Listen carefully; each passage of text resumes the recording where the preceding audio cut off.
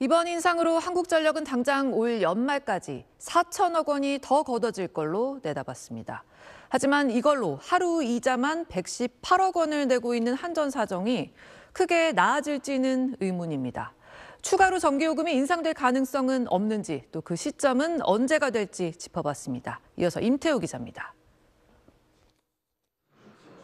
대기업용 전기요금의 평균 10.6원 인상은 전체적으로 5.2원 정도 올린 효과를 갖습니다.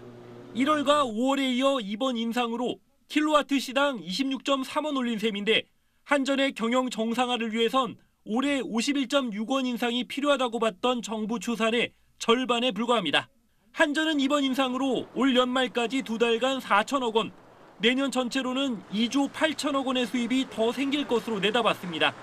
하지만 급등한 에너지 가격이 전기요금에 온전히 반영되지 않는 구조는 여전해서 한전의 재무 구조를 개선하기엔 역부족이란 평가가 많습니다. 2021년 이후 한전의 누적 적자는 47조 원, 총 부채는 201조 원에 달해 연간 이자 비용만 4조 3천억 원 수준입니다.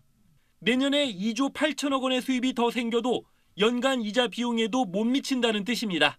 에너지 가격과 환율 등 여러 변수가 복합적으로 얽혀 있어 예단하긴 어렵지만 내년 4월 총선 이후 주택용을 포함해 전반적인 추가 요금 인상을 검토할 거라는 관측이 나옵니다.